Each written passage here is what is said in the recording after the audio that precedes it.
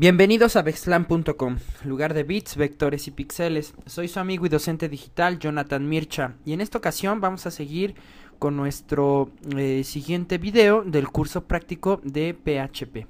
Bien, entonces eh, me voy a ir a la carpeta del htdocs del champ. Aquí tengo la carpeta del curso, curso PHP. Y entonces vamos a crear una nueva carpeta para este, nuestro ejercicio del día de hoy, que sería el ejercicio 02 y el nombre de la carpeta va a ser validación de datos, ¿no? Entonces le vamos a poner validación datos. Muy bien, y dentro de esta carpeta nos vamos a el notepad y este archivo lo vamos a guardar como formulario.php. Entonces nos vamos a la carpeta del champ aquí está. Mm, validación de datos. Este se va a llamar formulario formulario.php php, ¿sale? Y vamos a guardar otro vamos a crear un nuevo archivo que se llame validar datos. Entonces, nuevo archivo guardar como validar guion medio datos punto php sale ya tenemos nuestros dos archivos creados. Ya nada más vamos a revisar que estén en la carpeta. Ahí están. Muy bien entonces vamos a comenzar. El día de hoy vamos a empezar a, a hacer un poco de validación del lado cliente con javascript y a jugar un poquito con las condicionales, como lo hicimos en el ejercicio pasado, donde validábamos si enviábamos por get o por post el formulario, ¿sale? En esta ocasión eh, vamos a hacer algo muy similar, pero, eh, por ejemplo, vamos a empezar a ver ya las validaciones con, eh, con JavaScript, ¿sale? Muy bien. Entonces, eh, Vamos a empezar. ¿Sale? Entonces nuestras buenas prácticas, ya saben, de HTML5. Vamos a editar este documento para que sea un documento de HTML5, ¿no? Entonces escribimos nuestro doctype HTML y etiqueta HTML de apertura con el atributo lang en español etiqueta de cierre HTML. Luego nuestra etiqueta head, head que cierra, body y body. Muy bien. Ahora, lo que necesitamos en el head, pues es el title. Title, title Muy bien. Y vamos a ponerle validación de datos. Validación aspersan o acute. Validación de datos con PHP. Ese sería nuestro título. Ahí está. Espero que vean bien. Y nuestro meta charset igual a UTF-8. UTF-8. Muy bien. Entonces, ya que tenemos, recuerden que también necesitaremos el description, pero para este ejercicio vamos a dejarlo nada más ahí. Muy bien, entonces, eh, ahora, les voy a explicar algo. Eh, en este ejercicio, igual, vamos a hacer, bueno, eh, voy a hacer el ejercicio por el método get y posteriormente por el método post. ¿Sale? Entonces, empecemos con eh, nuestro formulario para el método get. ¿Sale? Y entonces, dentro de nuestro cuerpo, indento, voy a poner un encabezado de tipo 1 y recuerden, buenas prácticas, no debe haber más de un encabezado de, eh, de tipo 1 en el en la página porque si no entonces por prácticas de SEO el Search Engine Optimization perdería relevancia. Entonces como voy a tener otro H1 para el encabezado del formulario de método post entonces vamos a meterlo dentro de un H group. Y así no pierden relevancia mis encabezados entonces H group. Muy bien. Eh, ahora pues vamos a ponerle aquí. Formulario de datos get. Sale perfecto. Ahora eh, vamos a abrir etiqueta form. Y cerramos etiqueta form. Muy bien ahora ya sabemos necesitamos por lo menos el nombre de nuestro formulario. Ups. Atributo name. Va a ser igual a valida guion bajo datos guion bajo get. Yo sé que son, es muy tal vez muy gran, eh, extenso el nombre pero eh, estos ejercicios son para que ustedes eh, la gente que no tenga mucha experiencia se acostumbre a trabajar con estas tecnologías web sale entonces más adelante si ustedes quieren cambiar los nombres yo sé que a veces mis nombres son demasiados largos y pues en la programación hay que optimizar tiempos pero les repito, es para que, para que queden bien eh, cimentados los, los conceptos y entonces se entienda este, de qué estamos hablando, ¿no? En este caso, pues estamos hablando de un formulario porque termina con extensión FRM que se envía por GET y que valida datos, ¿no? Entonces vamos a dejarle así el nombre largo. Posteriormente, el action, ¿no? El action ya les había dicho que es cuando envíe, cuando procese el formulario, ¿a dónde lo voy a mandar? Pues al otro archivo que creamos, que es validar-medio datos, validar-medio datos.php. Luego, el método, pues obviamente lo vamos a mandar por el método get, method igual a get. Y el enctype, enctype es igual a eh, application con doble P, application slash x guion medio www guion medio form, la palabra form guion medio URL encoded, ¿sale? Esos son los cuatro atributos que necesitamos para nuestro formulario. Nombre, el action, el method y el end type. ¿Sale? Si, si, le fuéramos a dar estilos a nuestro formulario, pues también necesitaríamos un ID o un class. Pero pues ahorita no le vamos a aplicar estilos. Muy bien. Y ahora, este, vamos a decirle que va a ser muy similar al formulario del, del ejercicio anterior. Le vamos a decir ingresa tu nombre, dos puntos, espacio. Y vamos a dibujar un input de tipo text, type text, ups, text, ahí está, input type text el nombre se va a llamar nombre-txt para saber que lo que nos está enviando el formulario es una caja de texto, ¿no? El tipo de input. Nombre-bajo. Ups. Nombre-txt. Sale. Y eso es todo. Cerramos el input. Luego, ah, un BR para que nos dé un salto de línea. No, de hecho dos BRs. Muy bien. Estos BRs vamos a dejarlos aquí abajo. Ahora sí, el texto que diga ingresa tu password. Ingresa tu password. Dos puntos.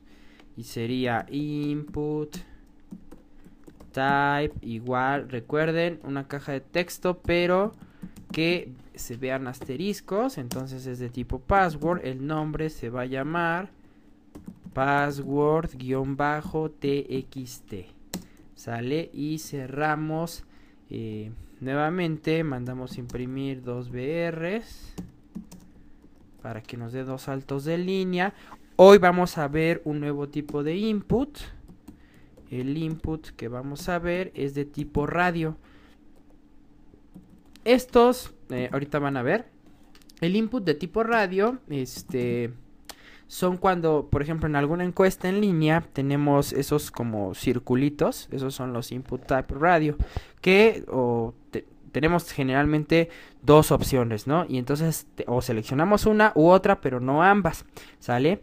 Este, esos son los inputs de tipo radio. Entonces, este, eh, lo vamos a ocupar para representar el sexo, ¿sale? El sexo del, del, usuario, si es masculino o femenino. Entonces, aquí para hacer que se llamen, digo, más bien para que el usuario o seleccione uno o seleccione el otro, eh, los dos inputs se deben de llamar del mismo nombre. Entonces, vamos a ponerle de nombre sexo-rdo para saber que la información que viene de este input es de un elemento de tipo radio. Y vamos a darle el value m para masculino. Y ahí está, ¿no? En este caso no voy a poner BRs porque aquí va a ir la palabra masculino. ¿Sale? Le voy a dar un espacio, vamos a dibujar un espacio como se debe, eh, que sería aspersan nbsp, ¿sí? Eh, ya se habrán dado cuenta que si le damos un espacio, pues en HTML lo reconoce. Pero ¿qué pasa si ustedes le dan más espacios? HTML por sí solo solamente va a reconocer el primer espacio así como estamos acostumbrados a hacer un espacio con la barra espaciadora. Si ustedes quieren representar más espacios, el espacio así como los acentos y las señas tienen su, su carácter, eh, su codificación especial y la codificación especial para un eh, espacio en blanco es esta, el Aspersan NBSP, ¿sale? De, eh, creo que significa New Blank Space, ¿sale? O sea, un nuevo espacio en blanco. Muy bien. Ahora vamos a dar un enter para tenerlo aquí acomodado. Vamos a darle un copy paste rápido a esto. Y es exactamente lo mismo. Les digo que se tiene que llamar igual. Nada más que aquí el value le vamos a poner F de femenino. Entonces vamos a cambiarle la descripción a que diga femenino. Ahí está. Muy bien. Y vamos a darle dos BRs. Ya recuerden ustedes no pueden copiar porque son los alumnos y están aprendiendo. Yo no soy un gran maestro en esto, sigo aprendiendo constantemente, pero bueno, para agilizar los tiempos de los videos es que a veces tengo que copiar y pegar. Muy bien, ahora ya no nos faltaría un botón eh, que envíe la información, ¿sale? Entonces vamos a ponerle un input type button. Ups. Input type button Luego el nombre del botón se va a llamar enviar.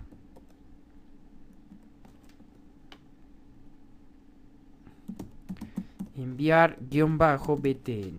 ¿Sale?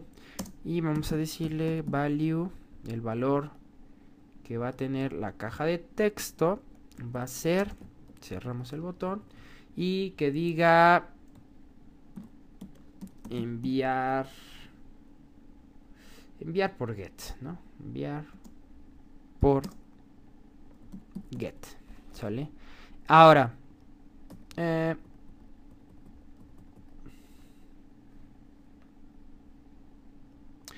muy bien. Ahora, si se dan cuenta, hemos declarado eh, un botón de tipo button. En el ejercicio anterior, incluso voy a abrir el, el código el archivo de formulario, si lo vemos, el botón que em, eh, creamos fue un input de tipo submit. Y los botones de tipo submit pues su eh, informa eh, su objetivo es que tienen la instrucción de procesar el formulario en automático sale entonces ¿por qué acá no le puse un input de tipo submit y le puse un input de tipo botón o sea un botón común y corriente. Vean si yo salvo el ejercicio me voy al navegador y aquí voy a abrir mi localhost uh, curso PHP aquí está validación de datos formulario. Vean si yo lo pulso vean aquí está el de femenino masculino que les había dicho vean. Selecciono masculino y si yo selecciono femenino no puedo seleccionar ambos o selecciono uno o selecciono el otro. Por eso es que deben de tener el mismo nombre. Miren si yo pulso el botón de enviar por get no pasa nada sale los botones de tipo, los inputs de tipo button eh, van, eh, son botones que eh, no, hace, no van a hacer nada hasta que nosotros no se lo definemos, se lo, perdón, se lo definamos eh, en alguna acción, ¿sale? A través de, de ejecutar un método en algún evento, ¿sale? Y generalmente el evento que vamos a estar trabajando es el on click, ¿sale? Es decir, cuando nosotros le demos clic, ¿qué va a pasar? ¿Sí? Entonces, lo que vamos a hacer es crear... Eh, vamos a crear una función en JavaScript para validar que el usuario no nos mande eh, ninguna información perdón, ningún campo vacío. Es decir, eh, en el ejercicio anterior nosotros podíamos haber mandado vacío el formulario y de todos modos enviaba.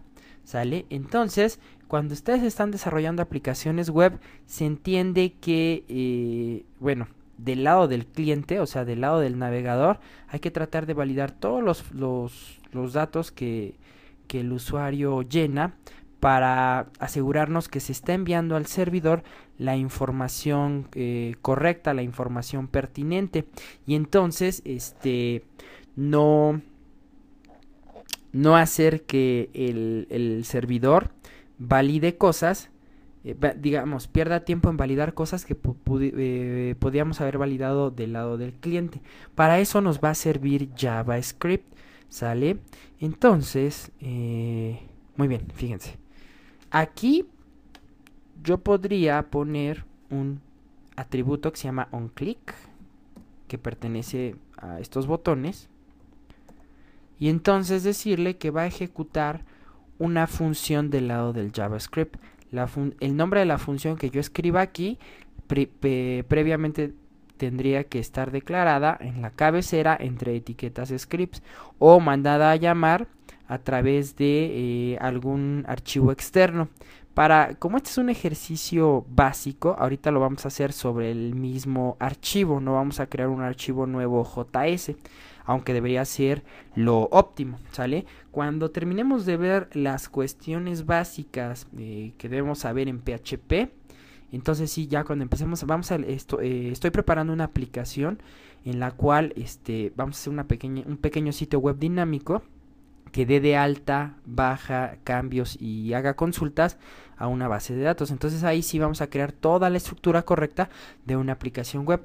Para estos casos de ejercicios aislados, pues, vamos a trabajar en la, en la cabecera del sitio, ¿sale? Entonces aquí yo pondría el nombre de la función a ejecutar, ¿sí? Pero esto es como lo... Ustedes cuando encuentren, eh, busquen información en Internet sobre validar formularios, generalmente se van a encontrar este tipo de, de formas, ¿no? De poner el, en, un evento un clic del, del input type button poner el nombre de la función y acá arriba en la cabecera escribir el nombre eh, de la función que se va a ejecutar. Sale, pero no es como la forma más correcta de declarar los eventos en JavaScript. Entonces, siempre acostumbro a enseñar pues la mejor forma de desarrollar las cosas.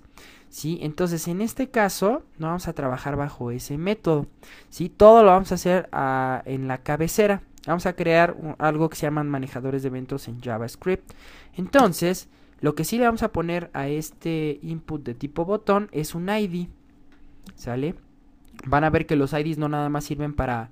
Bueno, no nada más sirven en el CSS para dar estilos, ¿sale? Sino también para eh, reconocer elementos que son únicos en, el HTML a través del JavaScript. Entonces, a este botón le vamos a poner el nombre, eh, perdón, el ID de enviar guion medio get, ¿sale? Enviar guion medio get. Ese va a ser su ID. Perfecto. Ahora, aquí ya nada más nos hace falta meter un input de tipo hidden.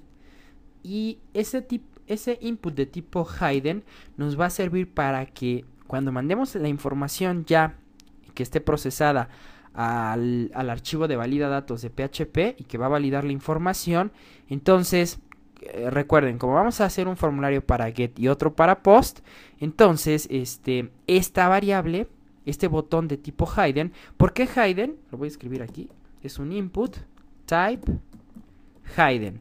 Los botones hidden, como su nombre lo dice, en inglés hidden es oculto. Entonces, pues son botones que no se van a ver, o sea, el usuario no los va a ver. ¿Sí? Y principalmente a un desarrollador, nos, eh, los, los inputs de tipo oculto nos sirven para enviar información que no dependa del, eh, del usuario este, dicha información, ¿sale? O sea, por ejemplo, supónganse que ustedes están haciendo una aplicación de... Están desarrollando para una empresa eh, encuestas en línea, ¿no? Y entonces por ejemplo, ustedes en su formulario de toda la encuesta, bueno, obviamente los, los elementos de, la encuesta, pues las, las, van a llenar los usuarios que estén contestando esa encuesta. Pero si, por ejemplo, ustedes tienen tres encuestas y a la hora que el usuario envíe la información de las encuestas, ustedes podrían poner un input de tipo hidden que que tuviera un valor específico, ¿no? Y entonces, por ejemplo, si le ponemos el valor número uno, significa que, no sé, tal vez es una encuesta que habla sobre la atención de, de, los empleados de la empresa hacia los clientes, ¿no? Y si, por ejemplo, el, este, el valor del input de tipo Hayden es, eh, eh, tiene el valor de número 2, significa que entonces el usuario estaba contestando una encuesta que habla sobre la satisfacción de los productos que vende la empresa, ¿sale? Y entonces en estos inputs el usuario no, como es un, es un input de tipo oculto, el usuario jamás lo va a ver. Entonces nos sirve a los programadores para poder eh, poner información que a nosotros nos sirva para discernir nuestras aplicaciones, como este ejemplo que les estoy poniendo, y entonces así ya trabajarlas del lado servidor eh, o, redirigir la información hacia donde tenga que estar, ¿sale? Entonces, como vamos a tener dos formularios, uno para get y el otro para post, esta este input de tipo oculto me va a servir para que cuando mande la información al, otro PHP, este, sepamos de que este de sepamos eh, cuál formulario es el, el, que envió el usuario, si el de get o el de post, ¿sale? Muy bien, entonces voy a poner un input de tipo oculto que se va a llamar enviar guion bajo HDN de Haydn. ¿Sale? Recuerden que acostumbra poner una, un sufijo a los tipos de, de elementos de formulario para saber eh, de dónde venía la información. ¿Sale? Eh, muy bien. Y vamos a ponerle el value, es muy importante. Vamos a decirle que eh, el value va a ser get, ¿no? Porque lo estamos enviando por get. Muy bien y cerramos nuestro formulario. Entonces vean, voy a guardar el documento. Vemos en el navegador y vean que el input de tipo Hayden está aquí oculto. Porque si, si estuviera dibujado, aquí lo veríamos este, al lado del botón porque lo puse Sí, está al lado del botón. ¿Sale? Si ustedes están manejando en Dreamweaver y lo ven en la vista diseño, van a ver un, pequeño cuadrito que dice H en color amarillo. Ese es el input de tipo oculto. Muy bien, ya tenemos nuestro formulario. Ahora, nos vamos a ir a la cabecera de nuestro documento. Y abajo del metacharset vamos a abrir etiqueta script. Y a cerrar etiqueta script y vamos a crear pues código JavaScript para validar este formulario ¿sale? entonces eh, voy a crear una función en JavaScript este, para validar los datos que este, van a ser procesados por este formulario que es por el método get. Entonces voy a escribir la palabra function. De hecho les voy notificando que ya estoy preparando em, para Vexlan un eh, un curso práctico sobre tecnologías JavaScript, es decir, eh, vamos a ver eh, los conceptos básicos del lenguaje JavaScript, vamos a ver jQuery, ¿sale? Que está muy... bueno, jQuery nos sirve para muchas cosas y también vamos a ver un poco de Ajax, ¿no? Ya más adelante les estaré avisando sobre la información de este nuevo curso.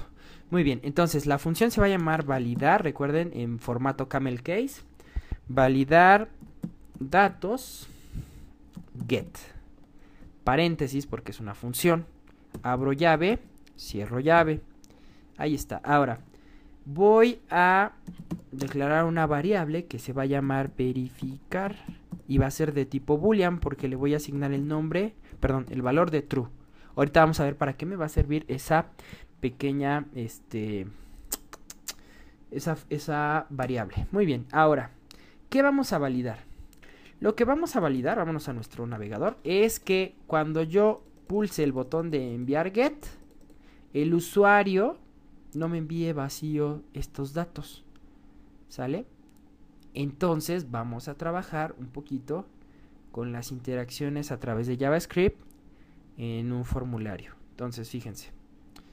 Eh, ¿Cómo voy a hacer uso de una estructura if, un condicional? Abro llave y cierro llave. Le voy a decir, ¿cómo le digo eh, mediante JavaScript eh, al navegador que si la caja de texto que se llama nombre-txt está vacía, pues que la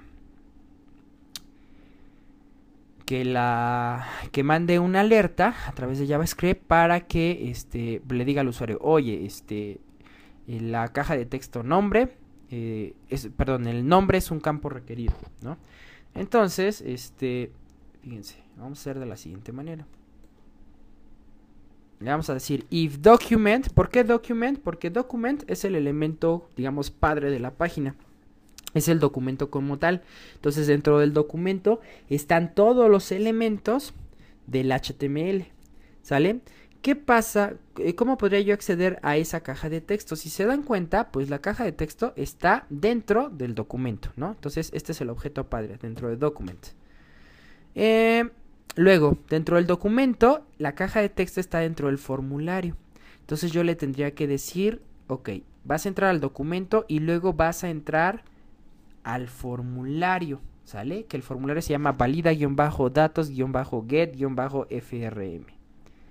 ¿Sale? Entonces sería document.validadatos datos perdón, valida-datos-get-frm punto y entonces ahora sí dentro del formulario está nuestra caja de texto que se llama nombre-txt. Entonces le damos punto nom bre-txt. Y luego la propiedad que vamos a evaluar es punto .value. ¿Sale? Value. Value.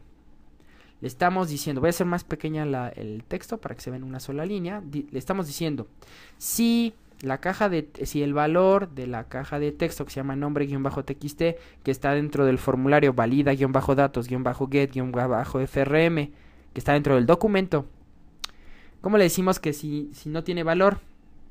Hay dos opciones, le podemos decir igual igual a dos comillas, o sea, significa que está vacío.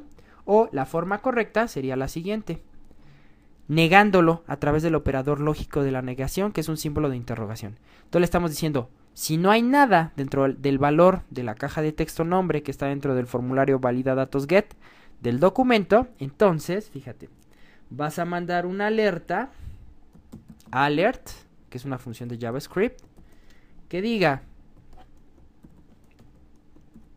el campo nombre es requerido. Y luego vamos a redireccionar el foco. ¿Qué es eso del foco? Cuando ustedes están navegando a través de un formulario, por ejemplo, el foco, ahí ahorita, vean que aquí en el navegador Chrome pone en color amarillo la caja de texto donde está mi cursor. Si yo le doy un tabulador con mi teclado, se pasa al de ingresa tu password y luego a masculino y luego a al botón. ¿Sale? El foco es donde está el cursor, ¿sale? Ese es el foco de la página, o sea, dónde está la atención de la página en ese momento. Entonces, fíjense, después de mandar la alerta, le vamos, vamos a regresar el foco al elemento que queremos que, que llene. Entonces, en este caso sería document.validadatosget-form.nombre-txt, pero no sería punto .value, sería punto .focus, que es un método. O sea, regresa el foco a ese elemento. Y luego voy a poner la variable verificar que arriba de la función fue lo primero que declaramos, la voy a declarar verificar como falsa. Y ahorita vamos a ver por qué la estoy poniendo falsa. ¿Sale? Muy bien. Salvo. Y todavía no va a funcionar. ¿Sale? Ahora, esta es como una forma larga de, eh, de llegar al elemento. Si, nuestro elemento... Eh, si nuestra caja de texto tuviera un ID, podríamos mandarla a llamar a través de su ID. ¿Sale? Pero eso lo vamos a ver más adelante.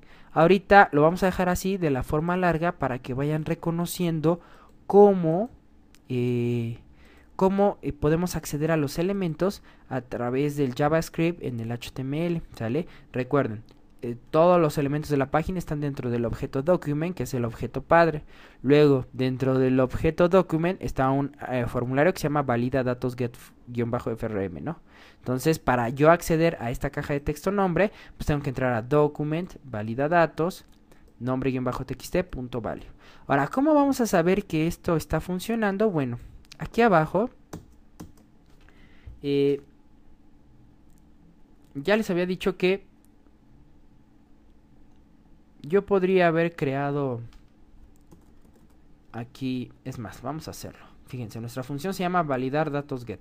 Entonces aquí a este input de tipo botón le voy a poner un on click que diga, o sea, al pulsarte vas a ejecutar la función que se llama valida, valida datos get, paréntesis, punto y coma. ¿Sale? Guardo, actualizo en el navegador y vean, le doy a enviar get y no está funcionando. Vamos a ver qué pasa. Valida, ¿se llama valida datos? Ah, no, validar datos le puse. Validar datos get. Salvo, actualizo y vean, enviar get y como no escribí nada, o estoy mandando en blanco eh, la caja de texto nombre me dice el campo nombre es requerido. Ese es el alert en JavaScript, sale esa pequeña caja de texto. Y vean cómo, como le dije, regresa el foco a la caja de texto nombre sin yo darle clic a la caja de texto, el foco regresó a la caja. Esta es una forma rápida de asignar eventos en el JavaScript, pero no es la mejor forma, ¿sale? Entonces, vamos a quitar eso. Y para eso yo le di un ID a este botón que se llama enviar get. Entonces, fíjense, abajo de esta función voy a crear, más bien, al evento, perdón, al objeto window, que es el objeto ventana, ¿sale? Le voy a asignar un evento que se llama onload. Es decir, cuando la ventana cargue, o sea, cuando todos los elementos de nuestra página ya estén cargados, le vamos a decir, ejecuta la siguiente función. y la función va a ser document. Vamos a acceder a ese botón. Ahora, eh, si el botón no tuviera un ID, tendría que acceder como hice aquí, document. el formulario. el botón, ¿no? Pero recuerden que este, eh, este botón ya tiene un ID que se llama enviar get. Entonces, vamos a ver una función que nos permite reconocer un elemento HTML con JavaScript a través de su ID. Y la función se llama get element. Vean que la función está en el formato camel case. ¿Sí? Recuerden el formato camel case o, o este, técnica del camello, simulando las jorobas de un camello, es si tu método, función o variable tiene una sola palabra, se escribe en minúsculas. Si tiene más, a partir de la segunda palabra, para diferenciarlas no podemos poner espacios en blanco.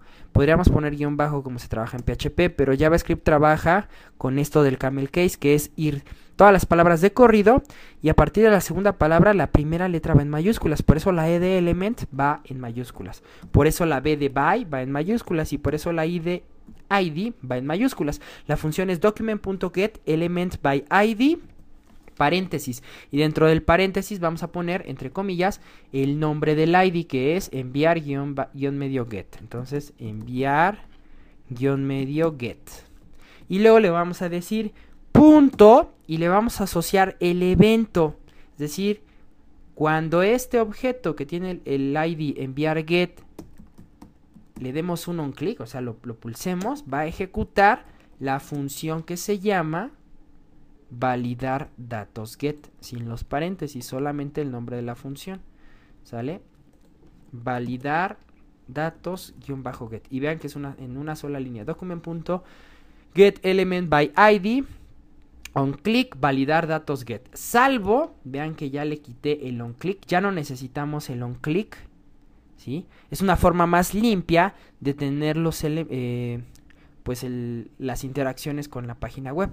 ¿Sale? Entonces salvamos, nos vamos al navegador, eh, actualizo y vean que está funcionando, ¿sale? Y esta es la mejor forma de mandar a llamar eventos eh, a través de JavaScript, ¿sale? Y así evitamos ponerle eh, el nombre del e-, evento como atributo a los elementos del formulario que puede ser un on click, un on focus, un on change, un on blur.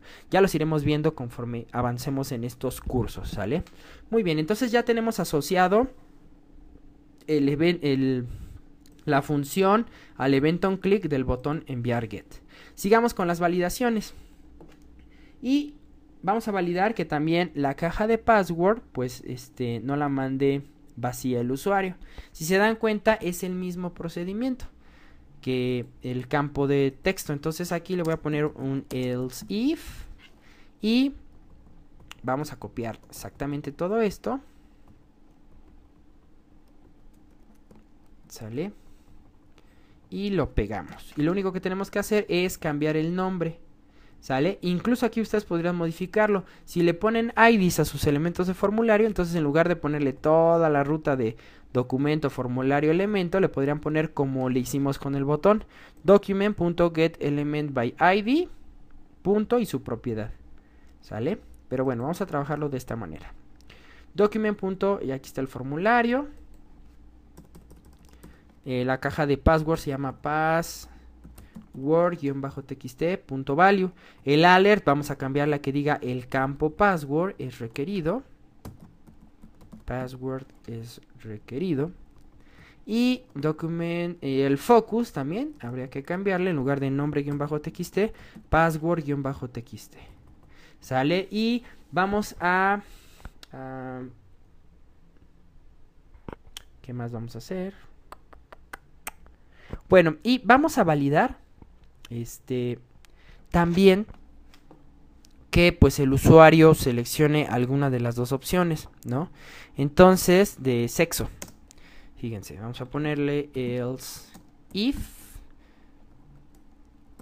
Aquí no voy a poner, no voy a copiarlo todo exactamente, porque fíjense, eh, en el formulario el sexo se llama igual en los dos, porque si no, entonces serían dos elementos distintos y nos permitiría seleccionarlos. Vean, yo le voy a poner sexo M a uno, sexo F a otro.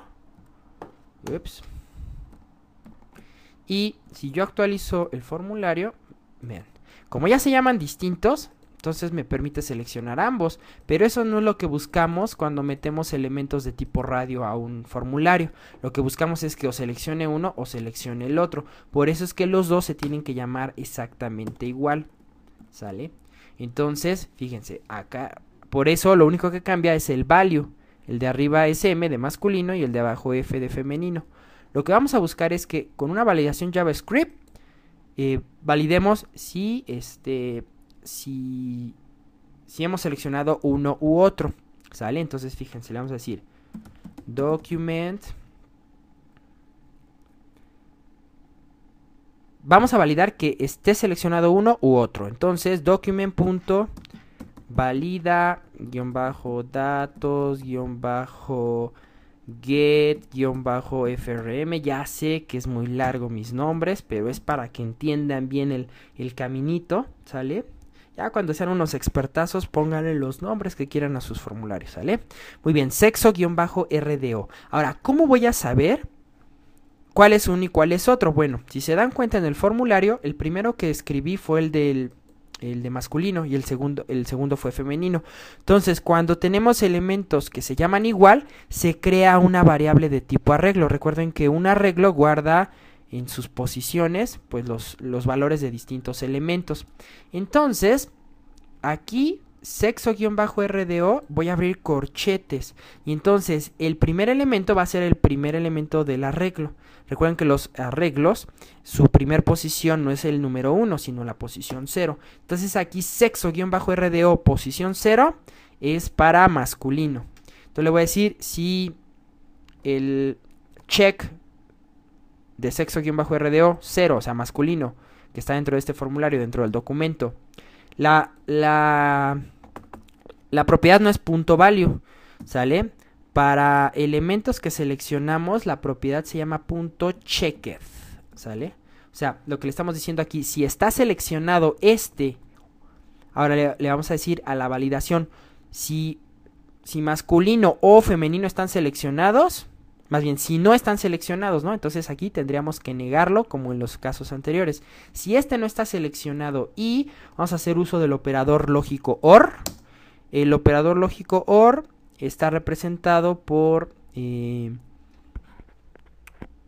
por un símbolo que se llama pipe, que si ustedes tienen su teclado eh, de idioma español, es un, eh, son dos palitos, bueno, es como un palito que está cortado que aparece al lado del número 1, es la tecla que está al lado del número 1. Si ustedes la presionan, van a aparecer dos palitos así, ¿sale? No es una L, no es una I, ¿sí? Vean, como no, no es ni una I mayúscula, ni una L minúscula, ni un número 1, ¿sale? Este elemento se llama pipe. Entonces aquí le estoy diciendo, estos dos eh, eh, botoncitos, perdón, estos dos palitos es un, eh, representan un operador lógico OR, ¿sale? Entonces, si voy a copiar todo esto porque lo vamos a utilizar. Si el primer check, que es el de sexo masculino, no está seleccionado o el sexo, el sexo femenino es el segundo elemento del arreglo de sexo. Entonces es la posición número uno. ¿Sale? Vean que es una sola línea de código. Voy, voy a hacer muy pequeño. Vean, ahí está.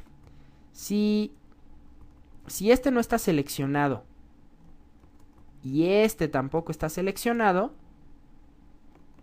entonces, ahora si hago más grande el código para que lo vean, entonces, ¿qué va a pasar? Pues vamos a mandar un alert que diga alert, entre paréntesis, punto y coma, el campo sexo es requerido. Y el focus vamos a hacérselo al primero, al, al, de masculino, que es el primero que aparece. Entonces, igual, sería punto focus, sería aquí document.validad-datos-get frm.sexo-rdo punto focus porque es a donde queremos que vaya el foco de la página. Y de igual forma le ponemos verificar igual a falso. Sale vean vamos a salvar nos vamos al navegador y actualizamos enviar el campo nombre requerido vamos a poner ya vamos a llenarlo Enviar, el campo password es requerido. Enviar, el campo sexo es requerido. Ahora voy a pulsar uno u otro. Vean, regresó el foco a masculino. Selecciono masculino. El campo es requerido. Ok. Ah, le estamos diciendo que si document valida datos get. Si este o este no están checados, entonces mande la alerta. Muy bien. Ah, no, ya me ya vi por qué, fíjense. Déjenme comprobar. Salvo. Actualizo. A ver, vamos a llenar. Password, nombre, enviar, el campo sexo requerido. Selecciono masculino, enviar. Sí, perfecto.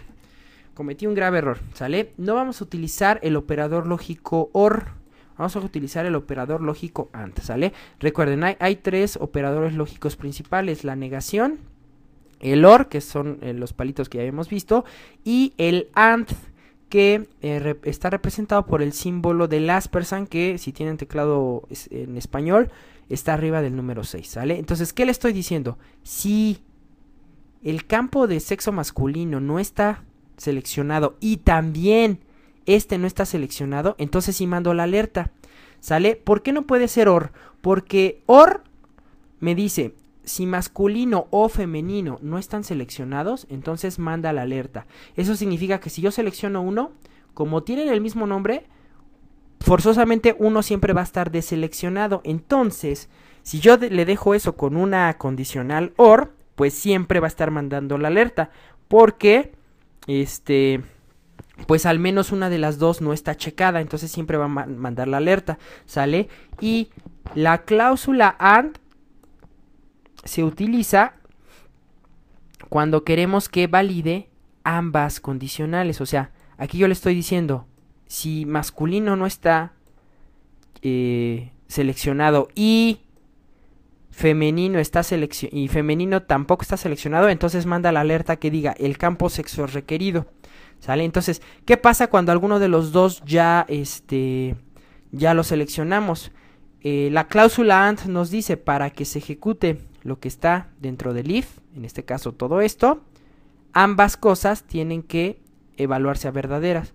Entonces, en el momento que yo le digo, en el momento que yo selecciono uno de los dos sexos, en automático, este, pues, por ejemplo, si yo selecciono masculino, esta condición ya no evalúa porque ya la seleccioné. ¿Sale? Y lo que aquí le estamos diciendo es, cuando no estén seleccionados tanto femenino como masculino, manda la alerta. Si alguno de los dos ya está seleccionado, entonces no mandas la alerta. ¿Sale? Aquí, este, perdonen, fue un error. Este, no era el operador OR. El que vamos a utilizar es el operador AND. ¿Sale? Este, y bueno, para que vean que eh, los errores de programación siempre van a aparecer sobre la marcha, ¿no? Muy bien, entonces ya tenemos las validaciones necesarias. Ahora, ¿qué tendría que hacer este esta función, si ya eh, todos los datos están como deben ser, pues enviar el formulario, ¿no? Para eso creamos esta variable verificar y por eso le estamos cambiando, eh, originalmente está en true. Si entra alguno de, los, de las validaciones, cambia a falso. ¿Por qué? Fíjense, acá abajo vamos a poner un if. ¿Por qué no pongo un else if? Porque es una nueva validación. ¿Sale? Acá estamos validando uno detrás del otro todos los elementos del formulario. Y aquí lo que yo voy a evaluar es el valor de la variable, perdón, el valor, sí, de la variable verificar. Entonces le voy a decir si verificar, si verificar, le puedo dejar si verificar es igual igual a true, ¿sale? Pero cuando estamos trabajando con variables con valores que sean de tipo boolean, o sea, verdadero o falso, si yo quiero decirle que esto, que la variable es verdadera, simplemente entre el paréntesis del if le digo si verificar, o sea, si es verdadero, y si yo quisiera decir si es falsa, nada más la niego, así, si verificar con el símbolo de exclamación. Entonces, si verificar es verdadero, ¿qué va a hacer? Va a enviar el formulario. Entonces le decimos document. nuestro formulario se llama valida guion bajo frm get guion bajo frm punto y el método es submit o sea envía el formulario sale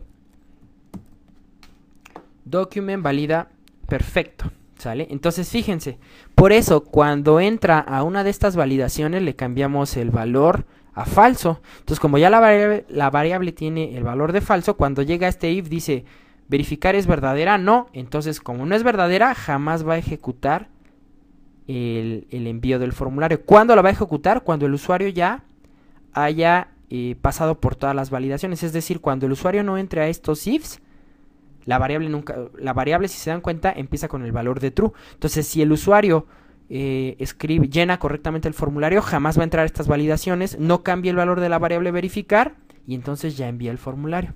¿Sale? ¿A dónde lo va a enviar? Recuerden, al action, que es validar datos.php. Fíjense, vámonos al formulario, eh, guardo mi documento, me voy al formulario, actualizo y vean, enviar get. Ya entró.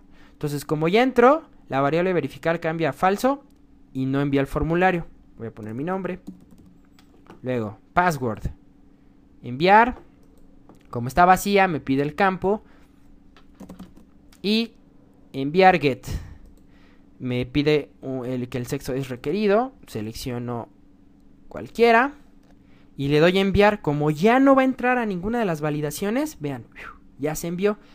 como lo envié por get, vean, aquí podemos ver a través de la URL los datos de las variables, ¿sí? Ya explicaba la, en la clase anterior eh, sobre la diferencia entre el método get y el método post. Ahora, ¿por qué aparece en blanco? Pues porque no hemos hecho nada en el formulario, perdón, en el archivo de validadatos.php. Muy bien. Así, eh, con eso ya terminamos la parte del formulario de get, ¿sale? Y vean que ya tenemos una validación para este para el formulario de get. Ahora, para el formulario de post, rápidamente vamos a hacer un copy paste. Y aquí está. Nada más vamos a cambiar a que diga formulario de datos. Ups. Formulario de datos post. Valida datos-post. ¿Sale? Así se va a llamar nuestro formulario. Luego el, método, el action es el mismo. El método es por post. Entonces le ponemos post. Y eh, el nombre de los, de los datos del formulario es el mismo. Aquí únicamente el que va a cambiar es el del botón oculto, que en lugar de get se va a llamar, bueno, el valor va a ser post. Y igual, el ID del botón va a ser enviar guion medio post. Prácticamente todo lo que diga post lo cambiamos por get, ¿no? Muy bien. Y ahora nos vamos a la función. Vamos a copiar la función validar datos get. Y vamos a copiarla para crear la función del el formulario por post. ¿Sale? Entonces, ahí está. Vean, acá arriba mi función que se va a llamar validar datos get. Acá abajo mi función que se va a llamar validar datos post. Post, ¿sale?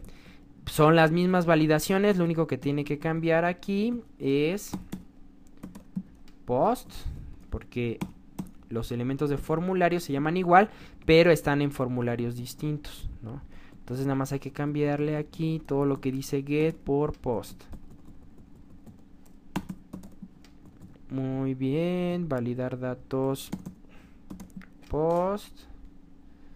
Ah, validar datos post y validar datos post.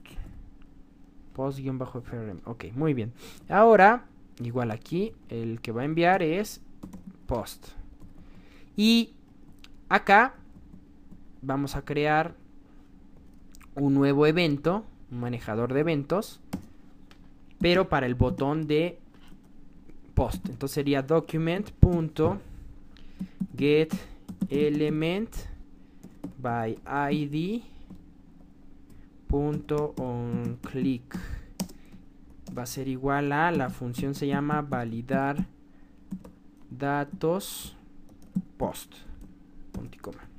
Y y, el nombre del elemento id se llama enviar guion medio post sale Ahí está. Entonces vean como muy rápido ya creamos los elementos para el formulario de post.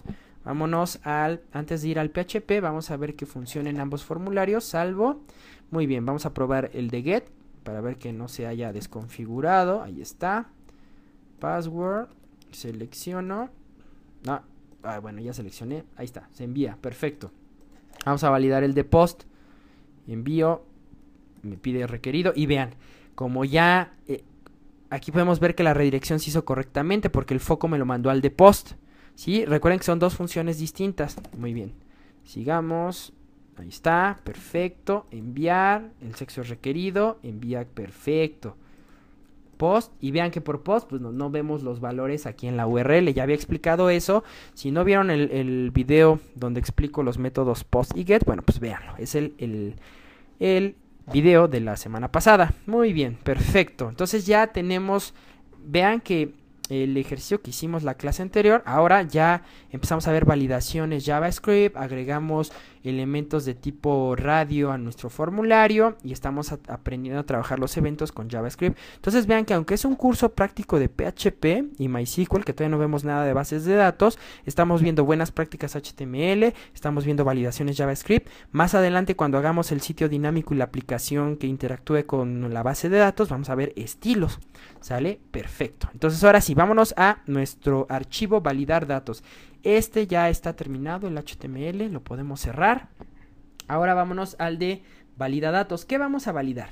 Bueno, recuerden que del lado del formulario tenemos dos, eh, dos, ¿cómo se llaman? Se me fue. Este, dos cajas de texto. Una dice nombre y la otra dice password. Entonces, acá del lado del PHP, vamos a abrir y cerrar etiquetas de código PHP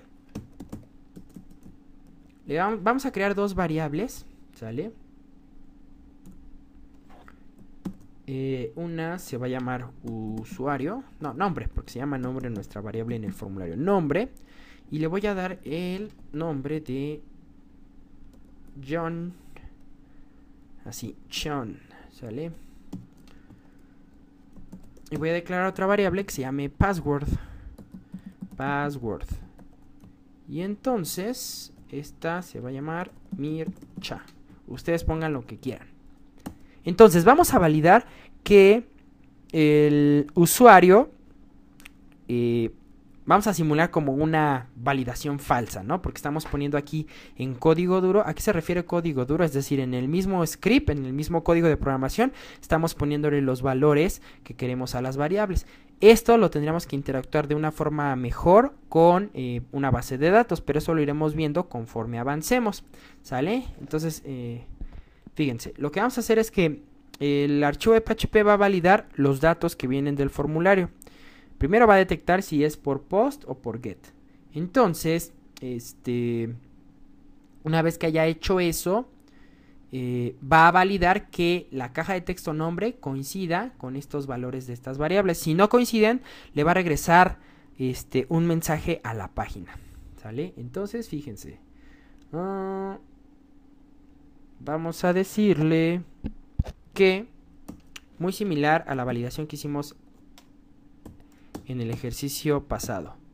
Vamos a decirle que si está definido, recuerden que ya habíamos visto la función iset que nos evalúa si una variable ha sido creada.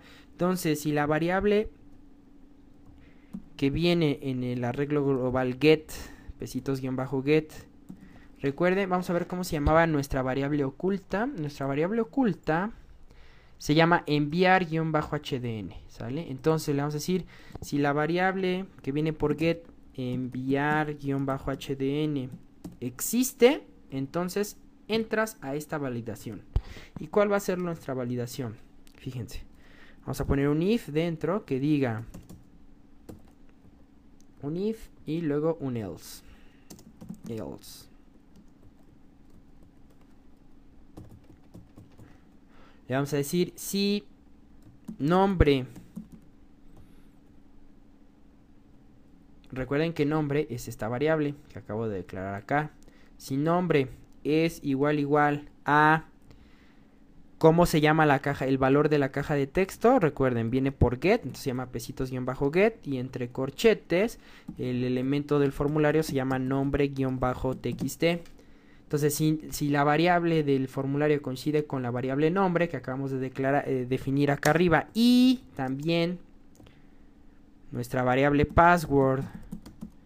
Password es igual igual a pesitos guion bajo get entre corchetes password guion bajo txt password guion bajo txt ahí está ¿qué va a pasar? bueno pues vamos a imprimir un mensaje que diga echo ah,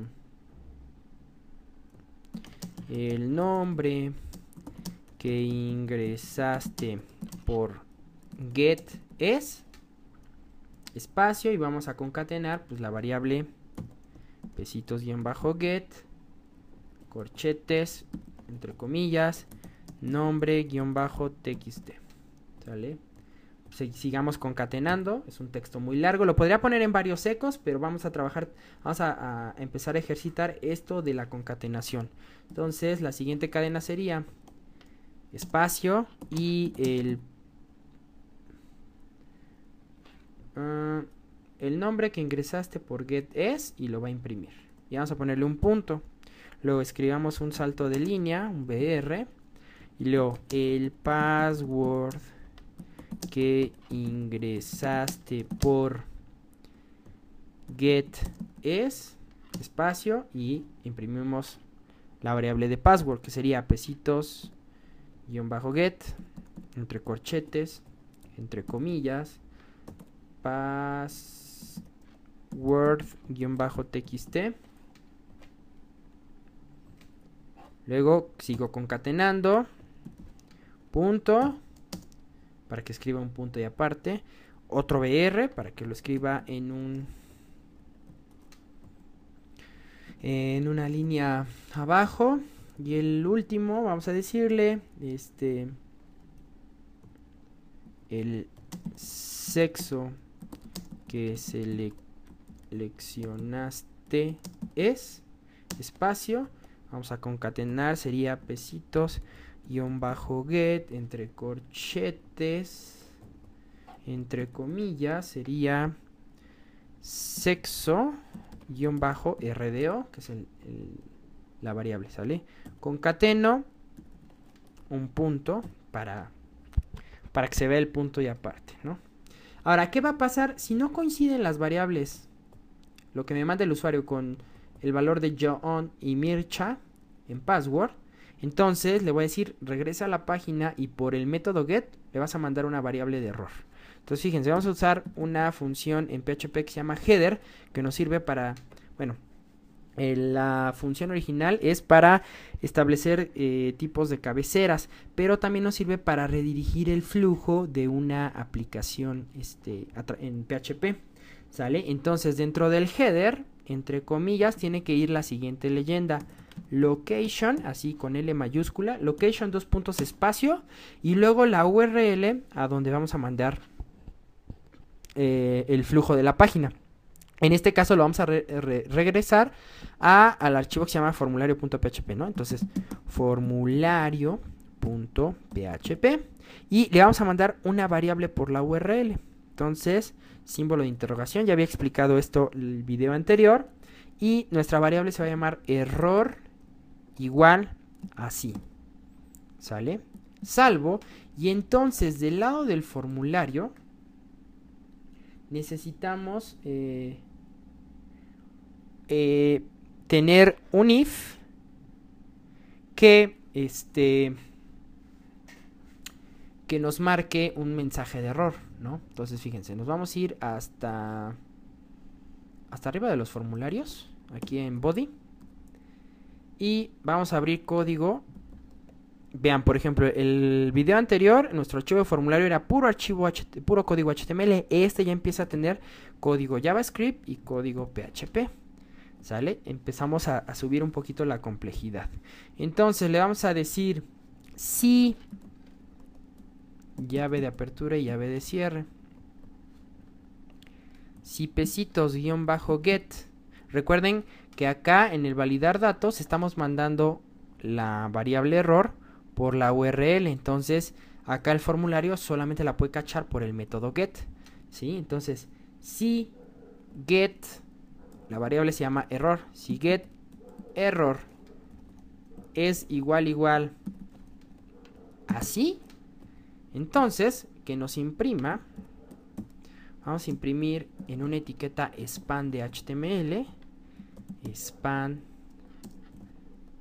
span eh, no mejor dentro sí dentro sí está bien dentro de un span y vamos a ponerle aquí atributo style vamos a ver un poquito de hojas de estilo digo esto no debería hacerse así los estilos se definen en una en una hoja de estilos aparte, pero bueno, este es un ejercicio muy básico, entonces vamos a hacerlo en la misma etiqueta. Vamos a decirle que en los estilos, ahora, ¿por qué no uso dobles comillas? Porque recuerden que las dobles comillas las estoy utilizando para formar la cadena de texto que va a imprimir el eco. Entonces, si yo quisiera utilizar, que es lo correcto aquí, las dobles comillas en la etiqueta, en el atributo style, la tengo que escapar.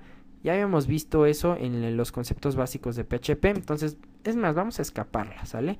Entonces le ponemos la contrabarra o la contra slash y ya, vean, me vuelve a reconocer toda esto como una cadena, porque ya entiende que estas lo que quiero es que se representen, o sea, que sean texto, que no sean eh, cadenas de texto. Si yo le quito el contra slash, vean, la cadena el eco la va a reconocer hasta aquí. Entonces ahí ya nos va a empezar a marcar errores. Bien, le pongo la contra slash y le voy a decir color, dos puntos. Vamos a ponerle un color rojo a, a nuestro a nuestro elemento, ¿no? Y vamos a darle un font size de 2M para que se vea más grande la letra. Mm, eh, si ustedes eh, han estado siguiendo el curso práctico de HTML5, también explico un poco sobre, la, empiezo a explicar hojas de estilo en cascada ahí, ¿sale? Y ahí en el tercer video tutorial explico lo que son los M's. Bueno, entonces, font size de 2M y el color rojo, ¿sale? ¿Y qué va a decir este span? Pues va a decir verifica tus datos. Y es más, vamos a ponerlo todo en altas, ¿no? verifica tus datos. Salvo, me voy al navegador. Si tienen Champ, les va a aparecer esto que dice Notice, un Define Index Error. No es un error. Nos dice que hay un error en la línea 59. Vamos a ver cuál es la línea 59. La línea 59 es donde puse la validación de la variable error. No es un error como tal, ¿sale? Es una como alerta. De hecho aquí dice notice, o sea, aviso, ¿sale? No tienes, nos, nos está diciendo que hay una variable que no está definida. ¿Y cuál es esa variable que no ha sido definida? Si se dan cuenta, aquí yo utilicé la variable que aparece con el método, eh, la variable de que viene por getError, la estoy validando con algo. Pero en ningún momento yo he declarado esa variable. ¿Sale? Entonces, este, por ejemplo, no hay una forma específica como en JavaScript o en ActionScript de declarar una variable en PHP así de var, get, error, ¿no? Entonces, lo que podríamos hacer es ponerle pesitos-get, entre comillas,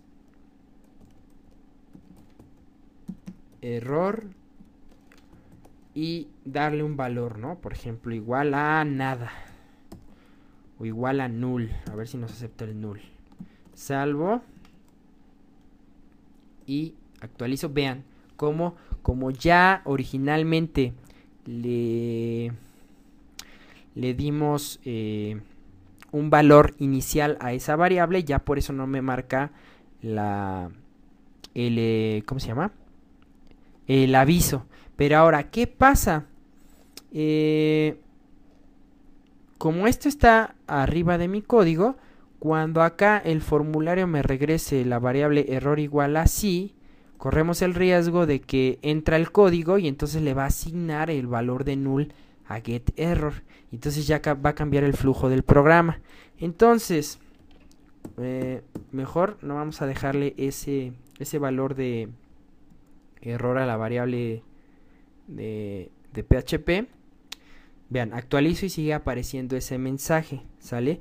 Entonces, lo que vamos a hacer cuando trabajemos con variables, que si se dan cuenta en PHP, eh, la definición de los valores que toman las variables o los objetos, las vamos, eh, las vamos trabajando conforme vamos eh, desarrollando el código. Entonces, esto también depende por una configuración del PHP que trae el champ.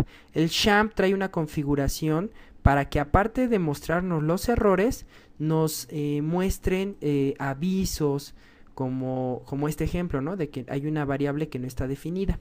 ¿Sale? Entonces tendríamos que entrar a la configuración del php.ini, que es el archivo de configuración de PHP, y cambiar ese valor en nuestro servidor. Pero ¿qué pasa si ustedes están, ahorita lo podemos hacer de manera local, pero si ustedes contratan un hosting, igual y va a ser un poquito más difícil si este, digo, hay, hay hosting que, que nos permiten la modificación de los archivos de configuración, pero hay otros que no. Entonces, eso lo podemos solucionar mediante una función del lado de la programación del PHP. Entonces, les voy a enseñar esa función. ¿Sale? Ah, y la función es la siguiente. Hasta arriba de nuestro código PHP, que en este caso sería este, vamos a poner la siguiente instrucción. Error-reporting, paréntesis, es una función de PHP que dice los errores, los reportes de errores. Entonces le voy a decir e-all espacio y vamos a sacar un, si tienen teclado numérico, es la tecla que está al lado de la ñ, van a presionar al GR y dos veces para sacar este, este triangulito, solo necesitamos uno, ¿sale? Entonces, e-all, e-all en mayúsculas, espacio, el triángulo, e-notice, que vean que lo que nos mandó aquí PHP fue un notice, ¿sale? Vean en el navegador dice notice. Todo lo que le estamos diciendo es que no nos muestre noticias, avisos y warnings, que los warnings también, los warnings no son errores, son como alertas de, oye, ¿sabes qué? Por ahí hay como un error de lógica en tu código o se te olvidó declarar algo. Cuestiones, eh, digamos, cuando no son, cuando son notice o warnings, no significa que son errores críticos que nos van a romper la ejecución del programa, sino son pequeños avisos, como en este caso de que, oye, ¿sabes qué? La variable error no la, has definido y ya la estás usando en una condicional. ¿Sale? Entonces, para evitarnos estos eh, que, que, nos estén apareciendo estos errores, estos avisos, perdón, de estos avisos en la programación, vamos a poner siempre hasta arriba de nuestros eh, códigos, de nuestras páginas PHP, esta función con este valor. Lo que le estamos diciendo es que, por favor, los reportes de errores que sean noticias y alertas, los warnings, no nos los muestres. Y con esto se va a solucionar. Ahora, generalmente, eh, bueno, este es porque, eh, les repito, así viene la configuración del champ. Pero cuando ustedes ya suban este, a un servidor de producción, a un hosting que ustedes contraten, generalmente este tipo de los reportes están configurados para que solamente aparezcan en el les aparezcan a los usuarios errores ya totalmente de programación que sí eh, rompan la estructura de la ejecución del programa sale entonces no creo que en un hosting ustedes tengan problemas con eh, que se muestren eh, notice o warnings sale pero si están trabajando con champ pues la configuración predeterminada de champ este, viene así. Entonces fíjense, al yo poner esta función de error-reporting, me voy al navegador, actualizo y ya no me aparece ese notice. Ahora fíjense, yo aquí voy a poner cualquier cosa en usuario y password. Entonces vean, enviar, se envió ya los datos y vean, aquí formulario.php y tiene un signo de interrogación y la variable error igual así y vean que ya me apareció este, eh, esta, eh, el texto que habíamos escrito dentro del código, este, dentro del spam, con un color rojo, un tamaño de fuente de 2M, que dice verifica tus datos. ¿Por qué? Porque fue al archivo de validar datos, entró por get, como no coincidieron los datos con John y Mircha, entonces me redirigió otra vez al formulario con la variable error igual así. Y entonces en el formulario tengo que si la variable error está en sí, muestro un span y dentro de ese span el texto verifica tus datos con el tamaño de fuente a 2M y el color rojo. Eso es lo que pasó. ¿Sale? Ahora sí vean, si yo pongo los datos correctos, yo on y mircha envío. Vean, ya me aparecen los datos, dice el nombre que ingresaste por get es John, el password que ingresaste por get es Mircha, el sexo que seleccionaste es M, ¿sale? Que vean qué es lo que puse en este eco. Entonces vean que ahí ya está validando el PHP los datos con unas, eh, con código duro que pusimos aquí en estas variables. Y deberíamos de tener un, este, un código muy similar para el método post, ¿sí? Entonces fíjense, lo voy a copiar porque básicamente es lo mismo. Le pongo un else if, copio, ahí está, me llevé un if de más. Y lo único que hago, ya saben, cambiar guion bajo post por guion bajo get, porque estamos hablando de las mismas variables. Donde no voy a cambiar, bueno, ahora ustedes se preguntarán, ay, entonces ahora tienes que declarar del lado del, formulario una variable de error eh, que sea por el método post. No, aquí nos va a servir la misma variable por el método get, porque recuerden que lo que estoy haciendo es regresarle al formulario una variable por el método get. Entonces yo no puedo regresar a variables a través de la URL por el método post. Entonces aquí el header va a ser exactamente igual y acá la validación que hicimos de error formulario nos va a servir para el, para el mismo propósito, ¿sale? No necesito declarar un error por post. Entonces, actualizo, me voy al navegador, regreso, actualizo, y entonces vean, voy a escribir, vamos a escribir los datos correctos, John, eh, luego, ah, pero esperen, Acá en el código dice el nombre que ingresaste y también hay que cambiarle por post, porque si no, pues va a decir por get. Sale por post, por post. Y por... ¿Dónde está? Y el sexto que seleccionaste. Ok, perfecto, ya, ahora sí. Perfecto. Y John, luego Mir Cha. Selecciono un sexo. Enviar. Ahí está el nombre que ingresaste. Vean que ya no dice get, dice por post. ¿Por qué? Porque estamos entrando a esta parte del código. ¿Sale? Es John. Ahora, ¿qué pasa si regreso?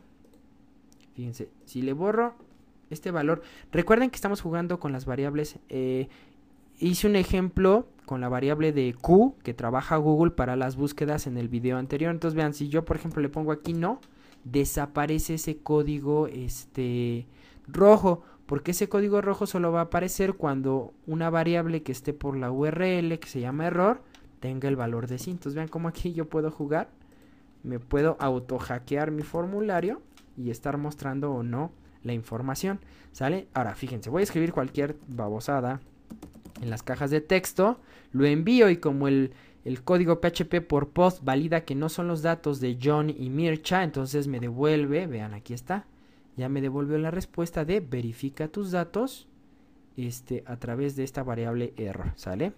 Ha sido un ejercicio bastante extenso, pero creo que aprendimos varias cosas, ¿no? Cómo empezar a validar ya información del lado del PHP y del lado del JavaScript con las validaciones que hicimos, cómo redireccionar el flujo de la página a través de header, cómo mostrar mensajes de error o de estatus de nuestras aplicaciones a través de, variables. Entonces aprendimos varias cosas, ¿no?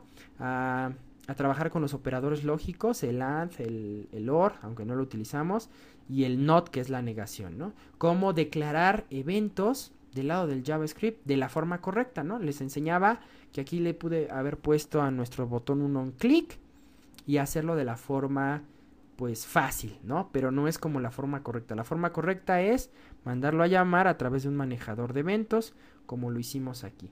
¿Sale? Espero que les haya gustado este video tutorial. Sé que estuvo un poco extenso, pero yo creo que aprendimos muchas cosas, ¿sale? Bien, me, despido de ustedes. Soy Jonathan Mircha, su amigo y docente digital. Recuerden, si les están gustando los videos, les pido que pues lo difundan amigos que tengan que estén interesados en aprender tecnologías web. Y por favor suscríbanse al canal y denle el pulgar arriba ahí abajo en la descripción de YouTube. Ahí hay un botoncito que dice me gusta por favor denle este para que veamos que realmente nos están eh, apoyando el proyecto Vexlan sale bueno pues nos vemos la siguiente semana con otro video tutorial del curso práctico de PHP hasta luego